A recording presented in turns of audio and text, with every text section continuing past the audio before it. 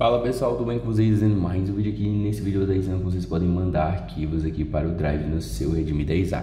Para você fazer esse processo, primeiramente você vem, acessa o seu Drive, acessando o seu Drive você vem aqui na área de arquivos, acessa a sua pasta o qual você quer compartilhar, certo? Os seus arquivos, aí você vai clicar aqui em novo e vem em fazer upload, certo? Clicando em fazer upload, você vai selecionar aqui o que você quer estar tá mandando, tá?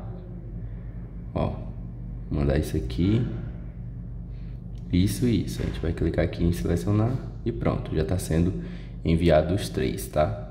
E dessa maneira você pode estar mandando arquivos para o Drive, não só imagens, mas você pode mandar vídeos, jogos, é, arquivos, PDFs, você pode enviar tudo dessa forma aqui, tá bom? Então é basicamente esse o vídeo, vou estar deixando ele por aqui, não esquece de deixar aquele like para estar tá dando aquela força para no canal, para a gente continuar trazendo vídeos assim para vocês. É, até o próximo vídeo aqui do nosso Redmi 10A. Valeu e tchau pessoal, até a próxima.